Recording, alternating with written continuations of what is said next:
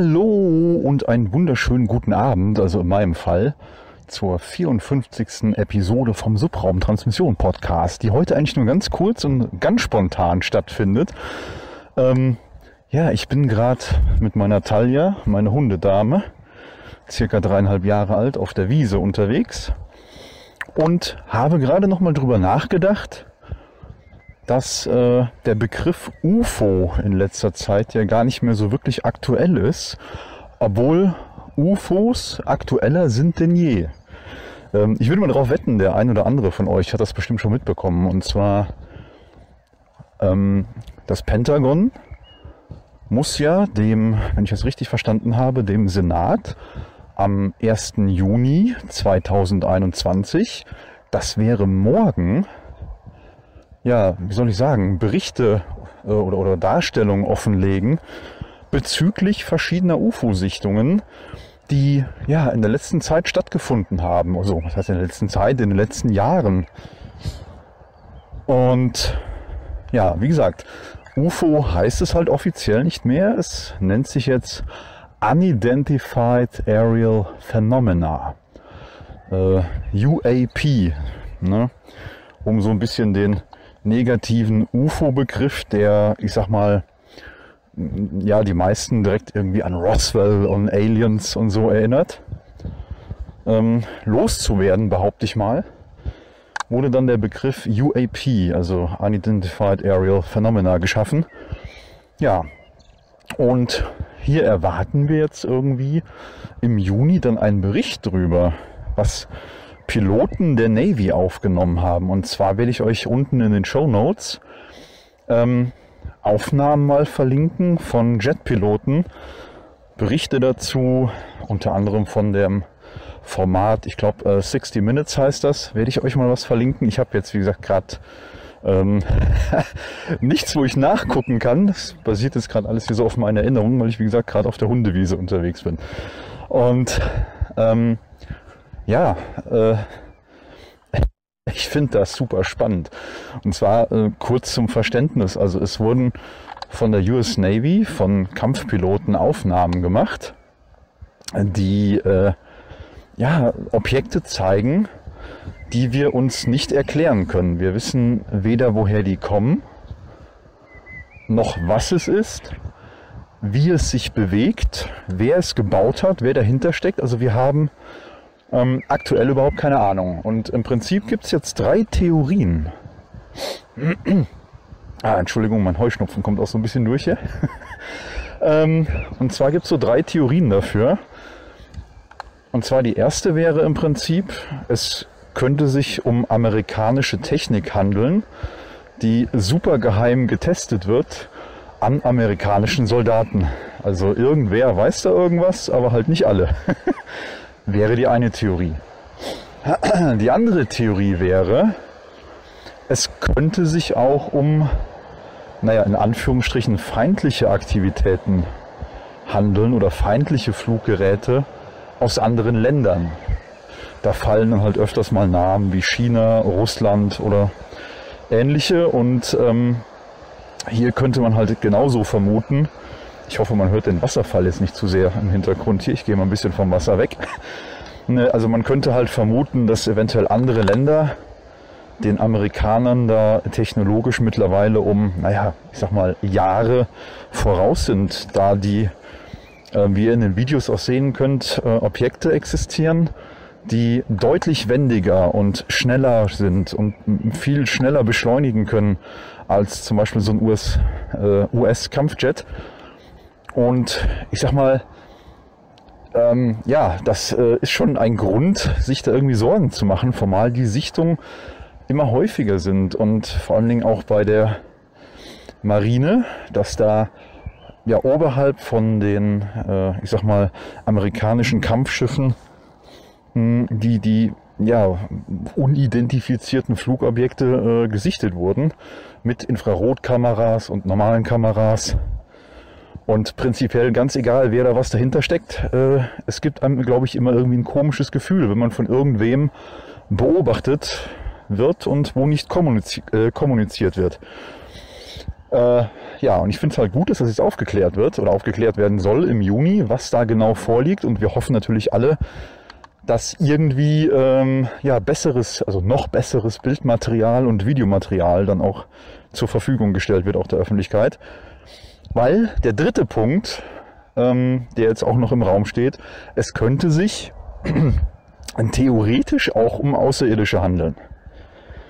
Ja, ich so als, ich sag mal so als Kind, was mit Star Trek groß geworden ist, ich habe dann so Dinge im Kopf wie die oberste Direktive. Die oberste Direktive, die wird dem einen oder anderen von euch bestimmt was sagen. Ähm, jeder, der Star Trek gesehen hat, weiß, dass bei Star Trek unter anderem auch schon mal, ja, ich sag mal, primitivere Völker beobachtet werden mit geheimen Basen auf dem Planeten oder halt mal mit Landung und man mischt sich so unter das Volk und schaut mal, wie die ja so leben und was sie so machen und wie weit die halt entwickelt sind.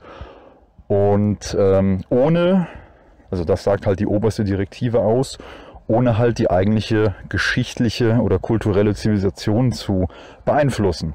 Und jetzt stelle ich mir vor, ähm, wenn das jetzt wirklich vielleicht Außerirdische wären, die hier auf der Erde unterwegs sind und uns beobachten, da frage ich mich jetzt gerade, ob die eventuell auch sowas haben wie eine oberste Direktive. Dass sie halt deswegen mit uns keinen Kontakt aufnehmen, um uns halt nicht zu beeinflussen. Ja, das wäre eine Theorie von, ja, von den dreien eigentlich, die so existieren. Wie gesagt, erste Theorie, es ist amerikanische Technologie, die im ich sag mal, geheimen, geheimen Kämmerchen irgendwo entwickelt wurde. Und ja, von denen nur ganz wenige wissen. Und das wird quasi so an den amerikanischen Piloten getestet. Hm. Ich denke da zum Beispiel an solche Dinge wie KI, also mit künstlicher Intelligenz gesteuerte Drohnen. Weil das Spannende an diesen Teilen ist zum Beispiel, die bewegen sich anscheinend so mit um die, ich glaube, 20.000 Kilometer pro Stunde.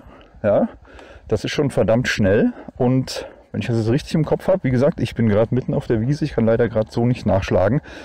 Ähm, das ist halt verdammt schnell und die können mit gleichbleibenden Geschwindigkeiten wohl auch ins Wasser eintauchen. Wie gesagt, die meisten Aufnahmen, was wir da so gesehen haben, Entschuldigung, haben über dem Meer stattgefunden. Und da sind halt diese, ich nenne sie jetzt mal UFOs oder UAPs, ähm, sind dann irgendwie ins Meer eingetaucht und auch so wieder hochgekommen. Also blitzschnell, ohne irgendwie Geschwindigkeit dabei zu verlieren. Ja, was soll ich sagen? Das ist schon wirklich, das ist wirklich, wirklich spannend. Und tja, wie gesagt, das, das zweite war halt die Geschichte, dass es Technologie ist von einem anderen Land. Wie gesagt, China, Russland oder so steht da halt öfter am, auf dem äh, ja, Programm. Ob die eventuell den Amerikanern weiter voraus sind, wäre auch möglich und bedenklich. Ähm, interessant wäre hier natürlich, wenn die USA jetzt wirklich an die Öffentlichkeit gehen und sagen, hey, passt mal auf, wir haben hier was, was wir uns wirklich überhaupt gar nicht erklären können. Und die anderen sagen auf einmal auch sowas wie, hey, wir haben ja auch solche Aufnahmen und wir können uns das nicht erklären. Guck mal, lass mal schauen hier, da ist irgendwie was.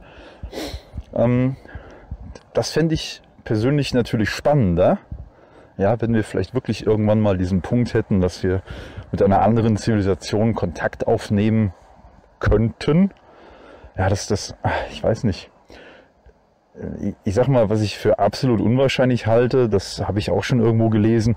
Es könnte sich ja beispielsweise auch um eine Art Zeitreisende handeln, die aus der Zukunft kommen und hier schauen und Dinge beeinflussen oder wie auch immer, halte ich aber für sehr, sehr, sehr unwahrscheinlich. Ich sag mal, äh, theoretisch ist nichts unmöglich, aber ich würde sagen, die, die drei Punkte, die wir vorhin genannt haben, die klingen da irgendwie aktuell mal noch am plausibelsten. Entweder eigene Technik, die weit entwickelt wurde im eigenen Land, ähm, Technologie aus einem fremden Land, die weiterentwickelt ist als die amerikanische oder halt eventuell wirklich Außerirdische, die uns seit geraumer Zeit beobachten, kontrollieren, überwachen, keine Ahnung.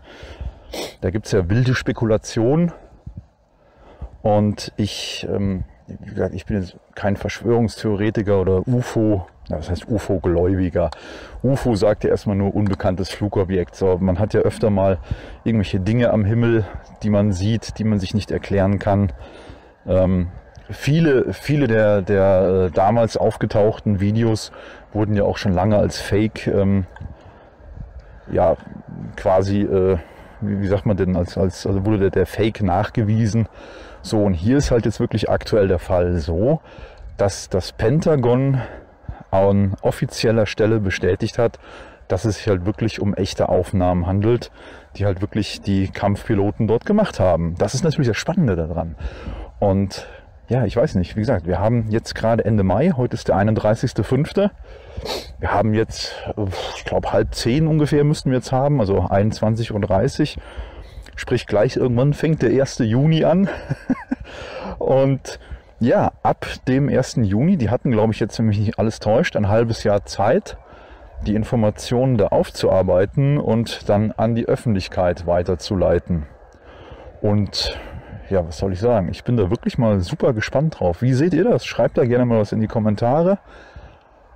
Lasst uns, lasst uns mal hören, wie ihr darüber so denkt. Und ähm, was denkt ihr, was ist das? Weil viele, viele Wissenschaftler zerbrechen, zer, hoppala, da will der Hund nicht mitkommen, äh, zerbrechen sich darüber aktuell den Kopf, was das sein könnte.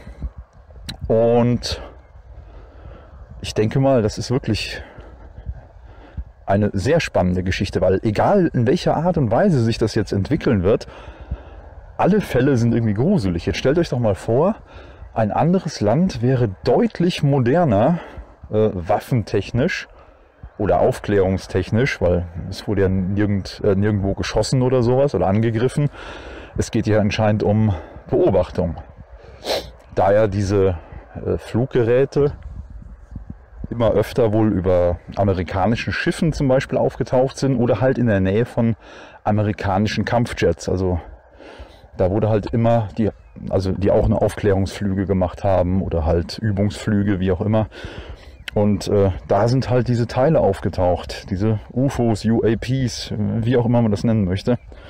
Und ja, scheint sich also um keine, keine feindlichen Aktionen zu handeln, aber dennoch ist es super gruselig, die Vorstellung, dass irgendwer oder irgendwas den Amerikanern, die weltweit das höchste ja, Militärbudget haben, im Vergleich zu allen anderen. Ich glaube, im Vergleich zu China und im Vergleich zu Russland so ungefähr das Dreifache ich, ich meine grobe Zahl im Kopf zu haben, so um die 780 Milliarden US-Dollar.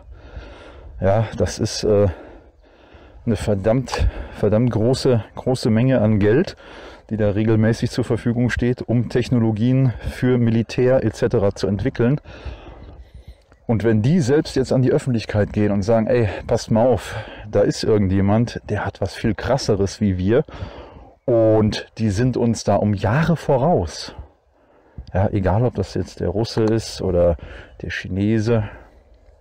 Ähm, ich denke mal, das sollte denen oder uns allen irgendwie zu denken geben, formal. So was ja dann wirklich nicht kommuniziert würde und das fände ich schon wirklich irgendwie bedenklich.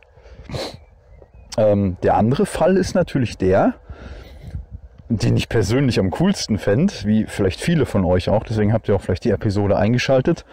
Eben genau deswegen. Und ähm, stellt euch doch mal vor, es wären wirklich Außerirdische. Und der ein oder andere, der so ein bisschen Astronomie-Fan ist und Raumschiffe mag und sich vielleicht öfter mal die Frage stellt, wenn er an den Himmel guckt, sind wir alleine im All? Ich meine, ich stehe jetzt gerade auch draußen, wie gesagt, schön draußen auf der Wiese, relativ freie Sicht nach oben, kaum Wolken, so die ersten Sterne kommen so ganz langsam durch. Und wenn man da hochguckt und stellt sich einfach mal vor, wie, wie groß das da oben alles ist, man kann sich eigentlich kaum vorstellen, dass wir hier alleine sind. Ja, das wäre schon, wie sagt man so schön, eine wirklich ziemliche Platzverschwendung.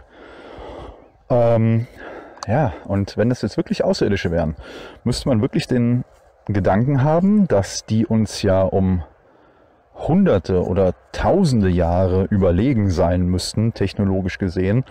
Allein schon aus dem Grund, weil sie es geschafft haben, diese gigantischen Entfernungen, die im Weltall sind, zu überwinden.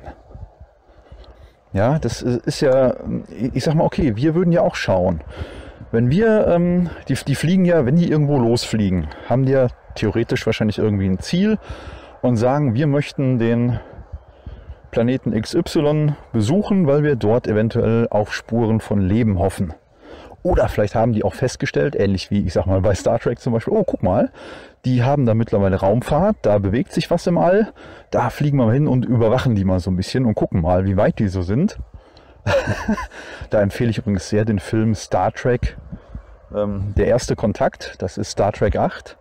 Da trifft dann die Menschheit zum allerersten Mal auf die Vulkanier egal, schaut euch das an, verlinke ich euch auch gerne mal. Ist ein sehr spannender Film und äh, greift das thematisch so ein bisschen auf. Da werden dann die Vulkanier aufmerksam auf die Menschen, weil die Menschen, besser gesagt ein Mensch, der Dr. Saffron Cochrane, hat aus einer Atomrakete, hat er im Prinzip das erste Warp-Schiff gebaut, ist damit ins All geflogen. Und auf diese Warp-Signatur sind halt dann die Vulkanier aufmerksam geworden und sind dementsprechend zur Erde gekommen. Ja, so viel dazu zu Star Trek. Nein, und wenn man sich jetzt überlegt, ähm, wenn das jetzt wirklich echt wäre und das wären jetzt wirklich Außerirdische, die uns da irgendwie überwachen, puh, ich weiß nicht, ähm, das gäbe mir, oder das würde doch so viel ändern und ich meine, wenn wir endlich wüssten, okay, wir sind nicht alleine, das würde unser ganzes Weltbild auf den Kopf stellen. Und da ist halt auch wieder die Frage, vielleicht wissen das ja schon einige Menschen und da gibt es vielleicht wirklich Informationen, die uns schon seit Jahrzehnten äh, vorenthalten wurden. Und also ich, ich glaube jetzt nicht so unbedingt an UFO-Entführung und dass wir irgendwelche UFOs seziert, äh, nein, Außerirdische seziert haben oder so. So ähnlich wie bei Independence Day. Ja, den Film hat bestimmt auch schon der eine oder andere gesehen. Ähm, oder auch Roswell, Area 51 und so, was man da alles so kennt. Ähm, nein, also so meine ich das nicht, aber es, es kann ja sein, dass vielleicht wirklich irgendwo schon mal Kontakte geknüpft wurden mit wem auch immer und uns wurde das als Menschheit noch vorenthalten. Ich meine, gerade jetzt die Corona-Pandemie hat uns mal wieder gezeigt, dass wir eher gegeneinander arbeiten, anstatt miteinander. Und es ist halt so eine, so eine traurige Feststellung irgendwo. Und wenn man sich jetzt überlegt, ähm, ja, stellt euch mal vor, da kommt auf einmal eine andere Zivilisation, die uns beobachtet und sagt, hey, guck mal, die Menschheit, die ist langsam so weit. Und da sagen wir vielleicht demnächst mal Hallo, wir beobachten das so ein bisschen. Und ich weiß nicht, vielleicht greifen die uns auch ein bisschen unter die Arme oder so. Wer, wer weiß auch, wo unsere Technologie herkommt. Nein, wir haben auch eine eigene technologische ja, Evolution durchgemacht und so. Das kann man ja auch alles irgendwo nachvollziehen. Ähm, die Frage ist halt wirklich, wenn es wirklich Aliens oder Außerirdische wären, die uns beobachten, was wollen die? Ja, möchten die Kontakte knüpfen? Sagen die, okay, die Menschheit ist bald soweit, um im galaktischen Freundeskreis mitzumachen oder so, dass wir ab und zu mal einen Kaffee trinken? ja, man weiß es nicht. Und ich, ich finde den Gedanken halt super spannend und würde mich also ich, ich bin mega, mega gehypt gerade auf das Thema, weil ich mich halt schon lange mit der Thematik beschäftige, gerade so mit Astronomie. Und wir wissen halt nicht, was da noch so kommt. Ja, was wir demnächst noch so sehen. Achso, was ich noch sagen wollte eben, da bin ich gerade so ein bisschen abge, abgeschweift. Und zwar, ähm, wenn wir jetzt losfliegen würden, dann würden wir auch gucken, in einem fremden Sonnensystem oder Sternensystem, Planetensystem, wie auch immer, welcher Planet liegt zum Beispiel in der habitablen Zone? Ja, und dann würden wir relativ gezielt dorthin fliegen, weil wir dort eventuell ja, flüssiges Wasser vermuten, biologische Aktivität, was weiß ich was. Und ich nehme mal an, eine Zivilisation, die uns weit überlegen ist, weil das muss sie eigentlich sein, wenn sie es schafft, äh, Milliarden von Lichtjahren eventuell zurückzulegen, um uns hier zu erreichen, dann sollte sie das auf jeden Fall sein. Und ja, äh, die fliegen halt schon gezielt dann irgendwo hin. Und es kann ja auch sein, vielleicht sind das ja auch eine Art Sonden. Ich meine, wir dürfen nicht vergessen, wir als Menschheit haben aktuell jetzt in diesem Jahr den ersten ähm, Mars Rover auf dem Ma also den Mars Rover auf dem Mars gelandet. Perseverance, also ist nicht der erste Rover, aber der erste Rover, der eine, ja, ich sag mal, eine kleine Drohne, einen Helikopter dabei hat. Also auf anderen Planeten ein Fluggerät abzusetzen, das können wir sogar schon als Menschheit. Und warum sollten das andere nicht auch bei uns tun? Wäre doch ein witziger Gedanke, oder? Wie seht ihr das? Würde mich wirklich mal interessieren, was ihr so davon haltet, von dem Gedanken. Naja, wie gesagt, also am wahrscheinlichsten ist es wohl, dass es irgendwelche Technologie ist von unserem Planeten. Rein entfernungstechnisch und weil unser begrenzter Geist vielleicht auch nicht wirklich mehr zulässt. Aber tief im Inneren hoffen wir doch irgendwie alle, dass das vielleicht endlich mal der erste Kontakt wäre. Vielleicht schaffen wir es ja irgendwann, ähm, egal ob mit diesen amerikanischen Kriegsschiffen oder mit den Navy-Piloten, die dort so unterwegs sind, ja, Kontakt zu diesen ähm, Geräten aufzunehmen.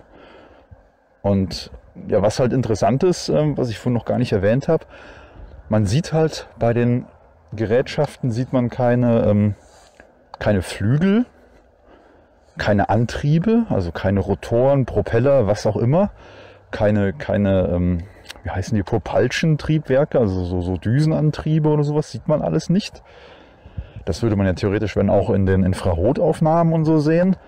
Und ja, wir haben halt bis heute nicht geklärt oder klären können, ähm, wie, wie die sich eigentlich bewegen bei uns in der Atmosphäre und auch unter Wasser. Ja, also das, das ist komplett ungeklärt und das macht die Sache halt fast schon wahrscheinlicher, dass es entweder was Außerirdisches ist oder halt wirklich was super krass fortgeschrittenes. Und ich würde sagen, ich entlasse euch jetzt damit aus dieser Episode. Gehe langsam mal Richtung Heimat. Ich glaube, Talia hat auch Hunger, oder Talia? Fresschen. Ja? Okay. ja, guckt, könnt ihr natürlich jetzt leider nicht sehen, aber ich glaube, die hat auch Hunger.